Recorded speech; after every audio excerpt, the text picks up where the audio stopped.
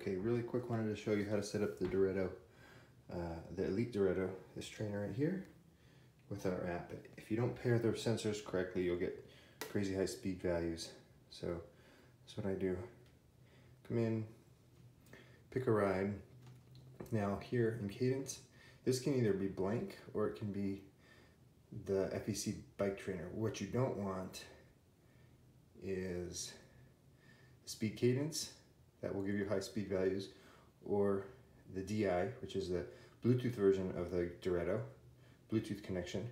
So either FEC Bike Trainer, I've got a kicker in here, that's why the other one is there, or just leave it blank. And then under power, make sure you have FEC Bike Trainer. You do not want bike power, DI, or the kicker.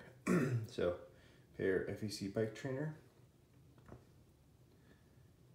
and in erg mode, hit continue, and then you can pair it if you have a heart rate monitor, pair it, otherwise don't.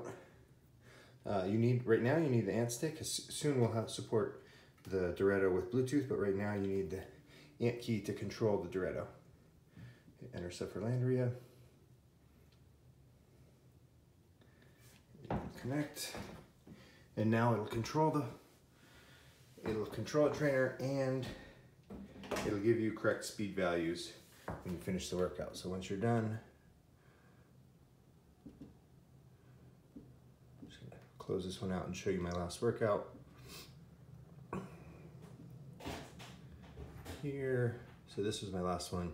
You can see my speed values. I was in the very easiest gear, so that's why my speed average is nine miles per hour. You can see I'm in the, it's pretty dark, but I'm in the easiest gear. All right, that should do it.